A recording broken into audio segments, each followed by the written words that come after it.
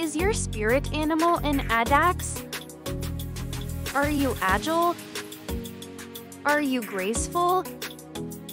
Are you resilient? Share if you identify with the Addax.